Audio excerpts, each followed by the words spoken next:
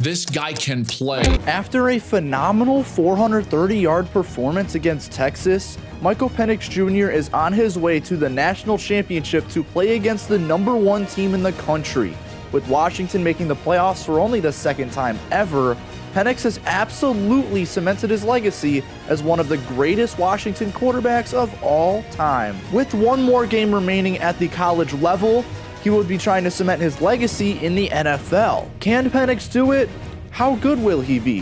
Find out in this video. I'm Chase Keller, and welcome to Michael Penix Jr., a detailed scouting report. Enjoy.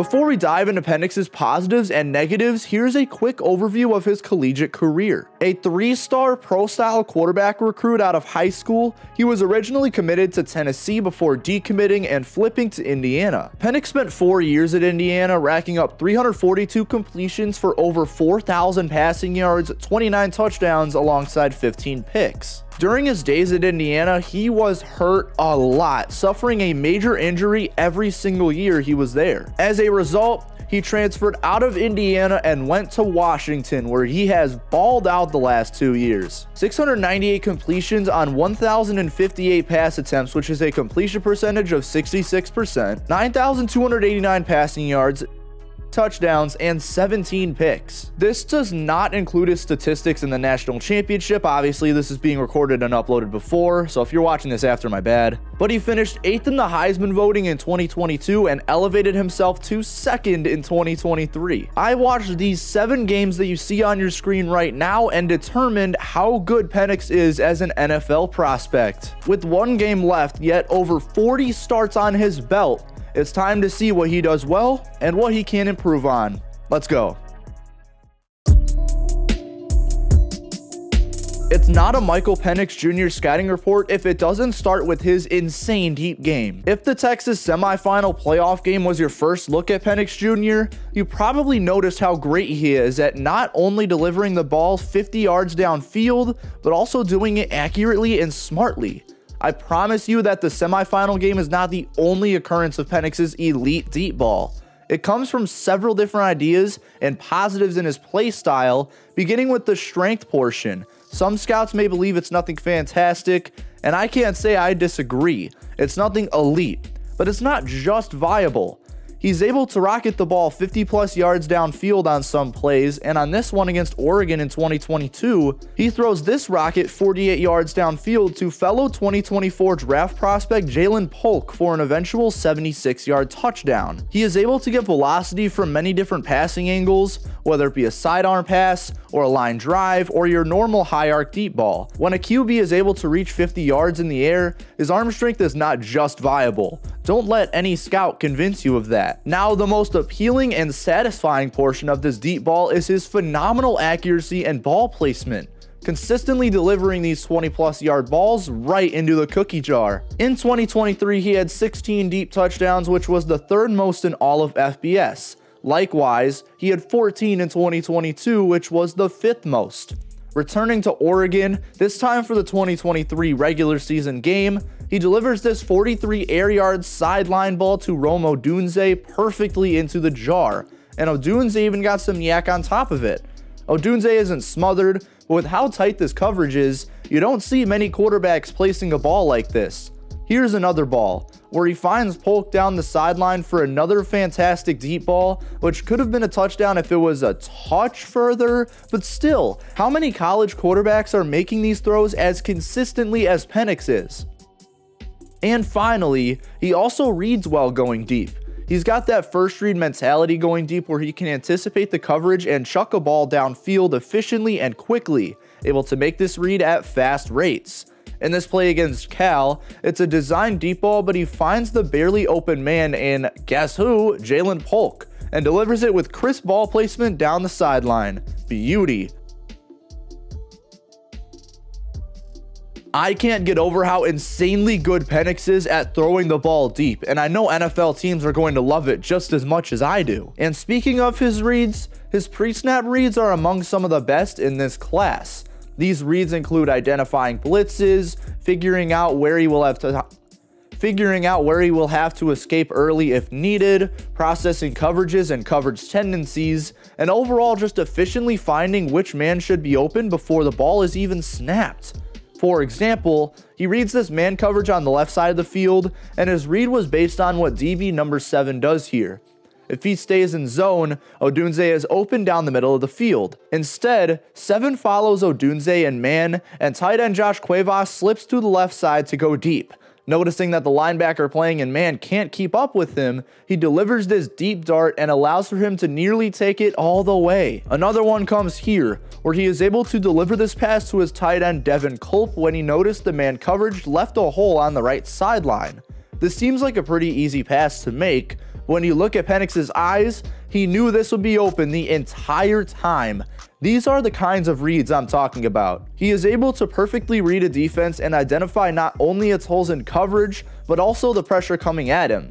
This can give off several notes about Penix Jr. He's great pre-snap as already said, he heavily watches film, and can identify all types of defense coming his way but most importantly, you can identify that he is a smart leader. His pre-snap reads allow for some fantastic anticipation as well. When I watched Penix, I went from his first game that I watched to the last game, beginning with 2020 against Michigan and ending with obviously this last game against Texas. And I'll admit, anticipation was a neutral point for me for the most part. I had it noted, but it wasn't until I watched the Arizona game that I realized it's actually great. Here's one example. He finds Polk on this comeback route, and despite the off-man coverage not being too far off, he delivers this pass and places it high for Polk to go up and get it. Harder for the DB to make the play, and the greatly timed throw doesn't give the DB enough time to jump and make the play. Another example from the same game. In this game against Arizona, he's able to identify the continuous soft coverage and hold off on a pass until 25 yards deep. He delivers this ball short arm to Alexander Jr. to ensure that the DB can't get at it, and eventually he makes the grab. Phenomenal read here by Penix. And it's not just in the Arizona game. In a situation where Washington is looking to put the first points on the board, he reads the off-man coverage and pushes it directly to his receiver on the out route to get the first down. He throws it quick enough to the point where the DB can't squeeze the route, but doesn't throw it too early to the point where the receiver isn't ready for it. Fantastic timing. Anticipating routes and coverage is one thing. Being able to deliver the ball at all three levels, covered or not, is another thing. And along with the deep accuracy previously mentioned, Penix has that ability. He can deliver tight passes everywhere, he can adjust to different angles and motions, whatever he needs in order to deliver a pass as accurately as possible. I would have liked to see more throws of him throwing into tight coverage, but he's kind of safe and cautious in that aspect. In this example against Cal, we see Polk get the ball yet again, this time on a fade in the end zone. He makes a pretty great grab, but it would not be possible if not for Penix perfectly high topping the DB, making it difficult to deflect this ball. I don't want to not give Polk credit for this grab, but this ball couldn't have been more perfectly placed given the circumstances. Along with his pretty great ball placement, he is also able to deliver on the run. On this play, he fakes out and makes a second effort to play make a receiver. Oh my goodness, it's Polk again, who Penix finds running in stride with him. He delivers for the touchdown, one of three that Polk scored in this game. Being able to deliver effectively at all three levels of the field is huge, and I think Penix does that so well. Moving on to the final trait I want to discuss, it is in my opinion the most important trait in the books, poise and pocket presence. I didn't save these for last because they are the best or most important because they are not anything special. Despite that, they are still viable enough to be counted as a positive in this report. Let's begin with poise. On this play, Penix stays poised and patient in the pocket in order to dump off this pass after nobody came open. I like this play for several reasons, but most importantly, he is able to adjust his positioning in the pocket because of the pressure and stay upright, delivering the pass unfazed. I may be one of the only guys to put this in the positive section, as many scouts think the poise might actually be a negative in his game. I still do think that his patience and his ability to move around in the pocket is viable enough to work in the NFL. I do understand it being a neutral point, but not a negative. How he responds to pressure is also a huge positive. I noticed his pocket presence before his poise, and I think it's more of his decisions after escaping than his ability to escape in itself. For example, Penix stays up in the pocket until he's forced to escape, and instead of going straight to scramble like most of these quarterback prospects would, he keeps his eyes downfield looking for a pass. None available, so he fakes and gets a few yards on the ground. The escape was good, but the decision was better. Having both poise and pocket presence is huge, and while neither of them are fantastic, both of them being viable is enough for the league. So, there were the strengths in Penix's game. Now, let's get to the negatives.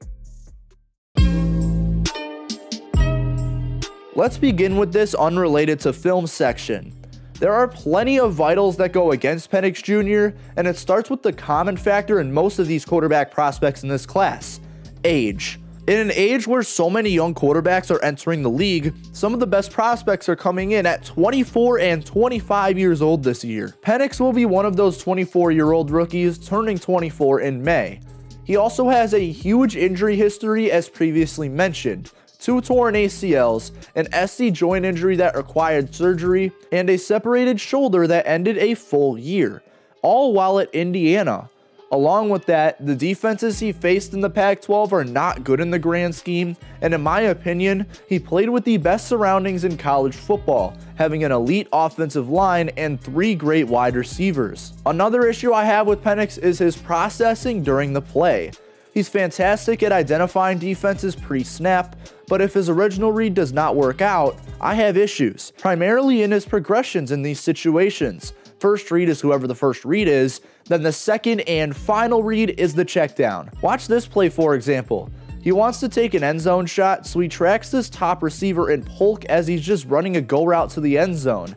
As this play progresses, he only looks at him and then forces a ball out of bounds because he was smothered. Cuevas is open, Dylan Johnson is open, but he forces it to Polk. This one is more serious as he reads one read this entire time despite him having light years behind the line.